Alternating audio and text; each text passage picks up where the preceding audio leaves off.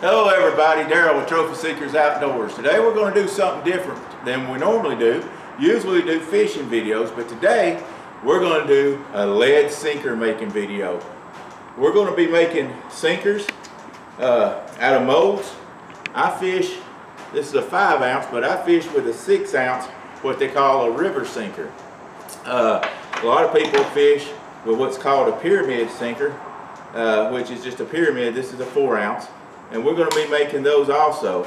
So uh, get ready guys, stay tuned, we're going to make some sinkers.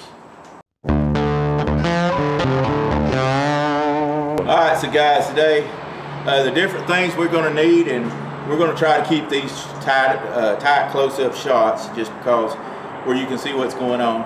Uh, one thing we're going to use is some oil and when these molds heat up the they they tend to have the sinkers stick, stick inside of them and they're a little bit hard to get out. So I'll, I'll throw some oil in there once they get heated up and hard to get out to help get them out. So that's one thing you need.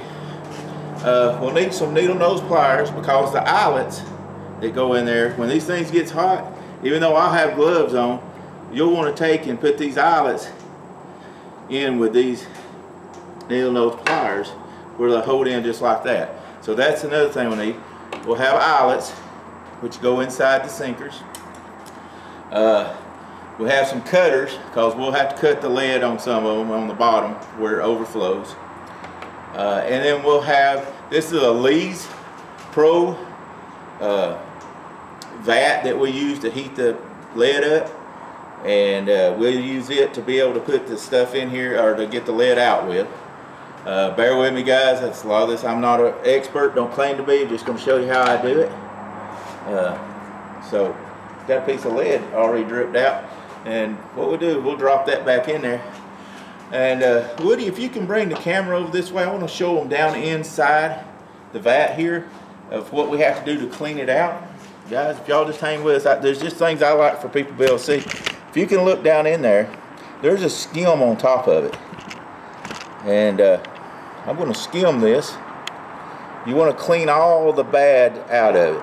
And even though we do ingots, as you see, there's some stuff. We'll get that cleaned out. We'll clean it until we get, I'd say 99% of it. You know, if I was doing something a lot more important than lead sinkers like uh, muzzleloader bullets, I mean, I would clean and clean and make sure it was perfect. But with with lead sinkers, I don't think the catfish really care a whole lot about whether that stuff's clean or not. And uh, this is this is something that we've already poured up, cleaned it, and we'll put that in there and it'll melt down. Uh, and I've got a small piece. Let me grab a small piece real quick. A buddy of mine gave me. This is a half, looks like a half pound here. And what we'll do, we just drop it down in there as we're doing it, as the vat gets a little bit low, we'll drop some down in there. You can probably see it bubbling there. And you can see what's bad come to the top. And we'll just clean that right off. Just clean it off. And that's that's what we skim off of there. There's a name for that, and I don't remember it. And you know what? I guess it don't really matter whether I remember it or not, as long as I do it. That's the way I look at it. Uh, I don't remember names real good. I just know that that's what I've got to do to have some good clean sinkers. So now we're going to get reset up with the camera, get a different angle, and we're going to show you how once we get, well, let me go ahead and put the eyelets in here. This is four and or five and six inch river sinkers. And I'm just going to put them in there. And it's not hot right now. Once it gets hot, I'll put some gloves on. But we're just going to put them in there. Put them kindly straight like that. We'll close this up and we'll pour in this end right here.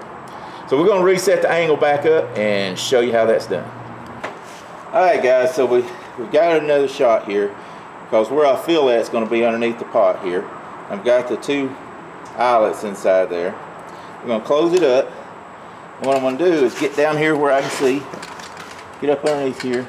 This little handle is what lets the lead come out. I'm going to leave this low. Normally I'll bring it higher but I'm going to leave it low where you can see it spilling off and going down into the mold. We just hold up the little handle there, fill it up, till we see it go out the top and shut it back down. What's going out the top not going to matter because we're going to cut that off and put it right back in the pot. So now we're going to do the next one, same way. Just open it up, pour it up, and there we go. You can see we filled it all, fill that mold all the way up to the top. You want to make sure that you come out the top. Don't worry about a little bit dropping in or out. I mean, we even get a little spillage down on the plate here. We just drop it back in there. Same thing with here. There's really no waste when you're making lead sinkers unless you just let it cool off and don't get the eyelet. But we still, even you can dump it in there and get the eyelets out later. So we'll open it back up. This one fell right out, as you can see. And, uh, and it makes a nice, let me lay this down, get it a little better. Makes a really nice river sinker. That's a five ounce with the eyelet. You can see the bottom's just a little bit, little small piece of lead left on the bottom there. We'll just take the cutter, cut that and smooth it right off like that right there. Set it over here to dry. Uh, I'll grab this little piece right here. Get that out. I can grab it up with my gloves right there. Make sure you use gloves. Gloves is, uh, man, you'll get burnt really quick if you don't use gloves. Here's the six ounce. It comes right out. Once again, I'm gonna grab it six, see, I don't know if you can see the six on there for six ounce. We're just gonna take, cut that, put it up here, just drop it right in there. There's the six ounce.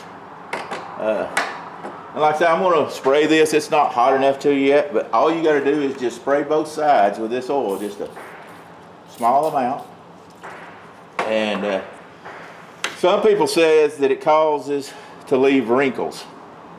Uh, I told them I didn't think that the catfish cared if it had wrinkles in a piece of lead or not. yeah, like I say, there's some things that's a, probably a lot more important that you don't want to leave stuff like that. Like I say, if you're making muzzleloader balls or something like that. But on this, it's not. Uh, you want to go back in there, just because it's been a while setting up, because doing different shots, I'm going to clean the lead again. One more time out of the top. And we're just going to repeat we'll show one more time and then we'll go to the uh, other sinkers that we're going to be making but once it gets hot you for sure want to use some needle nose pliers stick that right down in there and most time you can use your thumb to mash that in there before it gets you too hot I can uh, or you know everybody's got different ways but I just stick it in there and shove it uh, not like that Hey, bloopers! But anyway, we're going to shove it right in there. Once again, we've got those right in there. Close it up. We're ready again. I'd say I'm just going to spill it everywhere. There we go. And like I say, it doesn't matter if you make a little mess. It'll all come loose. That one good thing about lead is that it, it doesn't stick to stuff very much. And there you go. It's spilled out everywhere. Another thing, guys, make sure you're in a vented area. You don't want to start breathing in this lead. Or I don't know if you can see it or not, if it's showing on camera, but there's smoke coming off from that oil I put in there, and it'll do that for a couple of rounds. But you don't, I'm sitting in my shop, and you probably see in the video light, the sun out there, and that wind's carrying this out. So you don't want to be over this stuff breathing it a lot. So make sure of that. And I'm going to show you what I was talking about. Got this opened up. Let me turn it around this way. With the wrinkles. Uh, let's grab it like this. And I'm trying to do this where it's camera friendly, where you guys can see. Uh, there we go. You can see the, I don't know if you can pick it up on the camera or not uh, Woody's running the camera for me. Uh, not that he's doing it wrong or anything, but these wrinkled a little bit, and that's from putting the oil in there. And like I say, it doesn't do a difference with the weight. I've checked it. Uh, it just gives it a little wrinkled up look there. Like I said, I bet you them catfish could care less about that. Uh, once again, we're going to take, cut that off. Perfect. That's a five ounce, perfect five ounce sinker. River's coin sinker. I call them coin sinkers. The actual name is river sinker. Looks like a coin to me. So. All right, once again, we're gonna grab this one. This is a six ounce. Cut that off. There you are, six ounce lead. Uh, we'll go to the pyramid now. I'm gonna put this lead right back down inside. Boom. We'll close this one up because we got a lot of these to make. We won't do it while we're videoing. Uh, pyramid, once again, is like that. These are four ounce pyramid sinkers. Uh, we'll make three out of this mold, so we'll put three of the outlets in there. Uh, and guys, I say, I'm sure all this stuff has a proper name. But I'm just going to tell you, I can't remember my name half the time, much less the name of all this stuff here. So, y'all can put in the comments what the name all this stuff is I'm messing up for sure. uh, if you would guys, do hit the subscribe button. Uh, like the video if you like it. Hit the little bell that'll notify you every time we come out with a new video. Uh, we've got several different type videos we've been coming out with. But once again, we just put the little eyelets in there. This one's not hot, so I could do it by hand. We've got three of them in there. This is going to make three. Once again, we're just going to come up underneath here. I'm going to go to my furthest one. Bring it open. Let it pour right in there. I'm watching it the whole time. And just cut it off. Once again, go to the second one. Boom. Shut it off. And the third one. Boom. Set it right off. Now the weight of the of the uh, mold has become 12 ounces heavier, almost a pound heavier, and you can feel that too. All right, guys, that is a nice looking little deal there. These are a little harder to get out than the river sinkers, but they do come out just because the fill hole and the eyelet are on the same end. So it does make it just a little harder, but you can grab it by that piece of lead right there, and it'll come right out. Lay that right over there. We'll grab this. Actually, I want to grab this in the eyelet hole with the needle nose, or drop it, whatever comes first. We're going to take, come over here, cut the top off of that. I don't know if it'll show up or not, but it says four right there. That's a four ounce sinker. Pretty as you want. Shiny and ready to go. Get these others cleaned up right quick.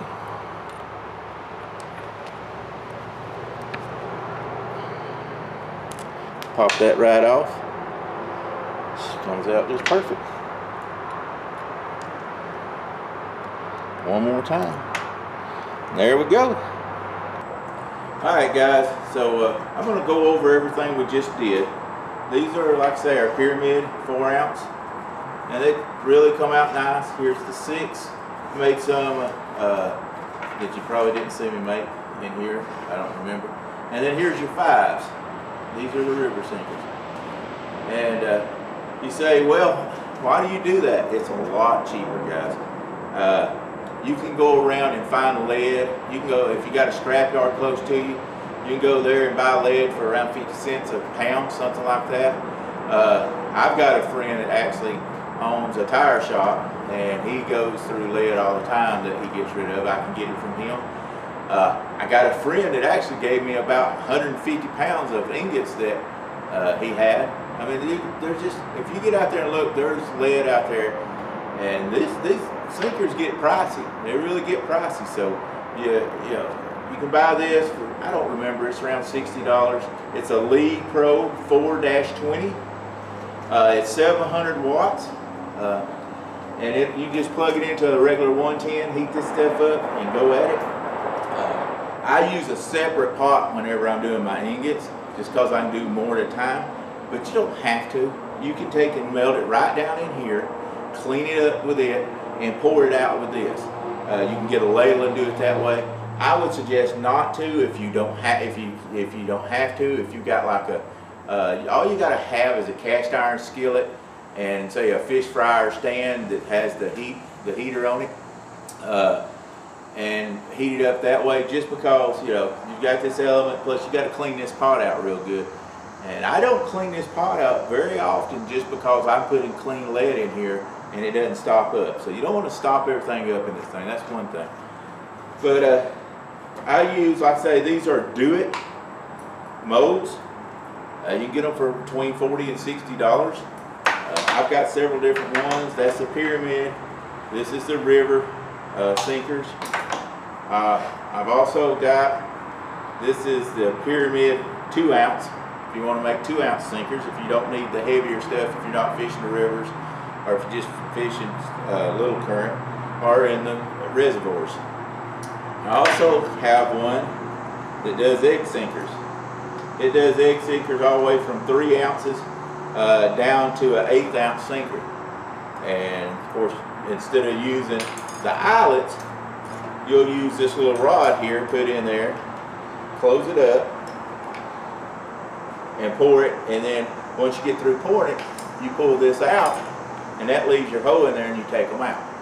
So that's the way this one works.